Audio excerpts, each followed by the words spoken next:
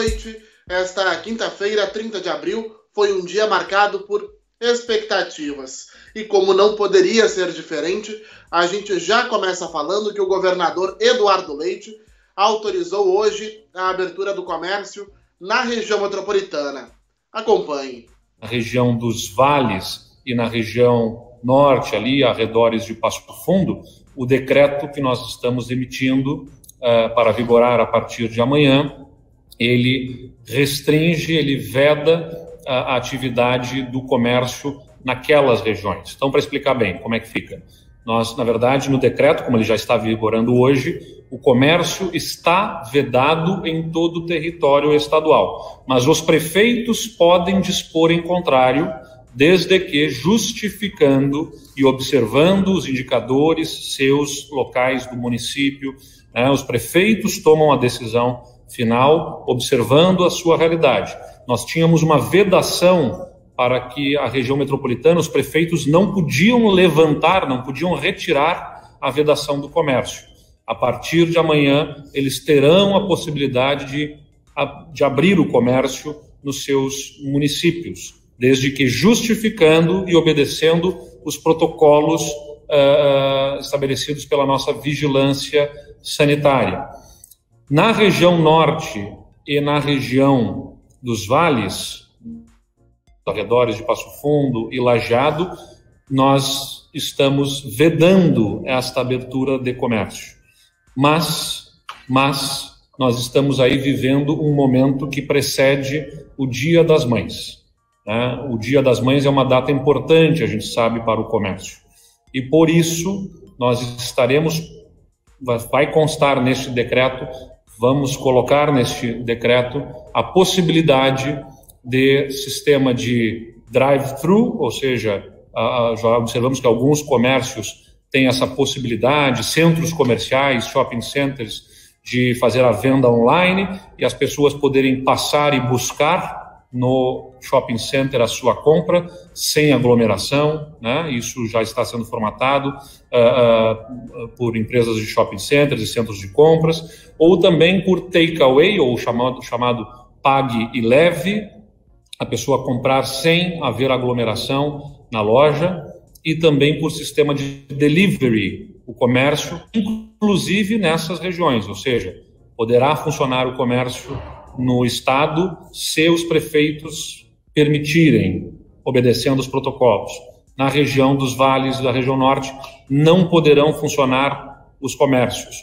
Uh, os prefeitos não poderão levantar a, a, a, a proibição do comércio, mas poderão excepcionalmente, excepcionalmente na próxima semana, em função do Dia das Mães, dentro dessas regras de drive-thru, de é, pague e leve e de delivery sem aglomerações. Como você viu, na nossa região, o comércio já pode voltar a funcionar.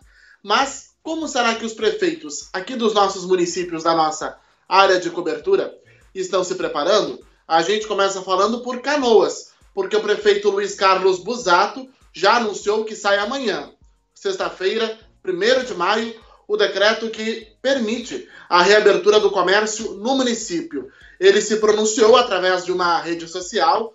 A fala que você vê na tela aí é a seguinte: Abre aspas. Esta retomada vem sendo construída há um bom tempo e foi autorizada hoje pelo governador.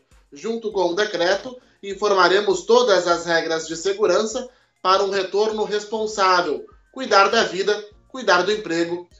Fecha aspas, essa foi a declaração através do Twitter do prefeito Luiz Carlos Busato. Como você viu agora há pouco, o governador autorizou a abertura do comércio. Porém, para isso, Leite anunciou que cada prefeito deve regulamentar a medida nas localidades e justificar a abertura do setor respeitando normas de proteção em decorrência do coronavírus. Então, ampliando essa abertura do comércio para nossa região de cobertura.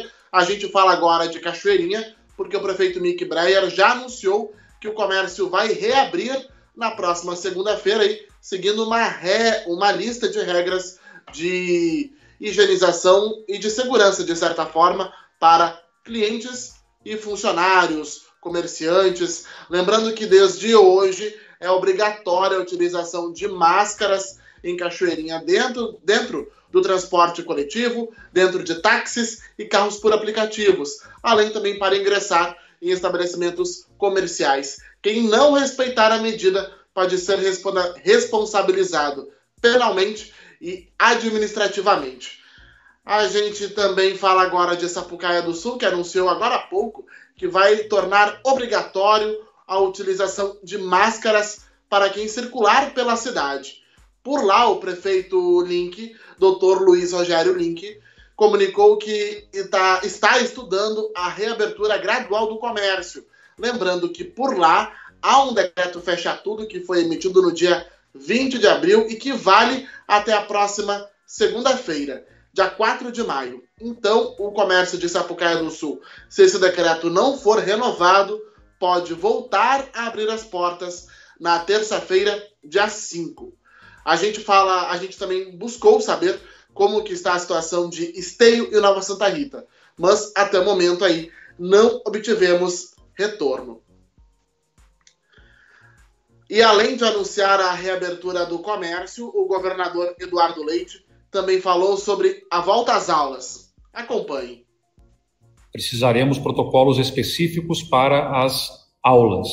Esses protocolos poderão envolver maior frequência de higienização e, consequentemente, contratação de mais equipamentos e mais pessoas para a higienização das escolas, das salas de aula. Isso no poder público leva algum tempo para ser estruturado, nas mais de duas mil escolas temos do governo do estado e no, no e também nas na rede pública municipal. Então, o mês de maio uh, não poderá ter o retorno das aulas para que nós possamos desenvolver esses protocolos e fazer toda a operação necessária para um retorno seguro à sala de aula. Por isso, vamos usar a antecipação do recesso de julho e suspensão de aula por 15 dias e retorno em junho apenas, por isso o mês de maio fica fora. Para o setor privado, mantém-se a suspensão das aulas e na próxima semana, quando nós definirmos o protocolo de cada uma das bandeiras, nós vamos definir o protocolo para a educação aí envolvida a rede privada e a rede privada, se tiver condições de atender esses protocolos antecipadamente, ela poderá eventualmente retornar antes, não esperando junho. Ela não vai poder retornar imediatamente, portanto, a rede privada vai ter que aguardar um novo decreto mas no novo decreto poderá vir a ser antecipado o retorno da rede privada, não precisando esperar junho, e sim já retornando em maio, desde que atendendo a todos esses protocolos uh, que vão ser ali estabelecidos de higienização, de equipamentos de proteção, entre outros itens importantes.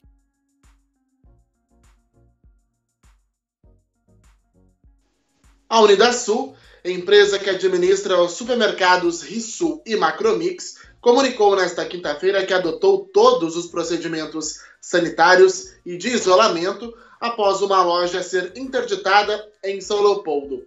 Dois funcionários e um familiar de um deles estão com coronavírus, segundo a prefeitura. Essa interdição vale por tempo indeterminado. A gestão pública municipal informou ainda que os funcionários da filial que apresentarem sintomas da doença serão testados. Para reabrir, o supermercado deverá apresentar um plano de sanitização que garanta a segurança dos colaboradores e clientes. A empresa também informou que não há casos de funcionários contaminados em outras lojas. E antes de encerrar, a gente atualiza agora os dados do coronavírus aqui no estado. Na tela, você vai ver o balanço divulgado pela Secretaria Estadual do Rio Grande do Sul, que mostra que o Rio Grande do Sul tem 1.529 casos confirmados. E eles estão espalhados em 142 municípios. Até o momento, são 58 óbitos. Fazendo recorte aqui para nossa região, começamos com Canoas, que tem 28 casos confirmados. Ainda não há detalhes sobre os dois novos pacientes mas dos quatro confirmados ontem, estão duas mulheres de 34 e 48 anos que se infectaram após terem contato com uma idosa de 68 anos que está internada na UTI do Hospital Universitário. Ambas são familiares da idosa. Além disso, um homem de 54 anos que trabalha em um hospital de Porto Alegre e uma mulher de 53 anos que foi diagnosticada pela pesquisa da UFPEL, realizada no último final de semana, estão infectados. Os quatro estão em isolamento domiciliar e passam bem. Cachoeirinha segue com 17 casos confirmados, nenhum registro nesta quinta-feira. Sapucaia do Sul, 15 casos, um confirmado hoje. Ainda não há detalhes desse paciente. A mesma situação ocorre em Esteio, que tem mais dois casos confirmados, mas sem detalhes do histórico dessas pessoas infectadas, e Nova Santa Rita, que segue sem registros. Já a nível nacional, a gente fala que o Brasil chegou a 85.380 pessoas infectadas por coronavírus. O país registrou recorde de novos casos em 24 horas, com uma adição de 7.218 infectados. Segundo a atualização do Ministério da Saúde, divulgada hoje, o total de mortes subiu para 5.901. De ontem para hoje, foram registrados 435 novos óbitos em todo o país. Lembrando que mais informações da pandemia do coronavírus você acompanha em agenciagbc.com. Muito obrigado pela sua companhia. A gente se vê. Boa noite. Tchau.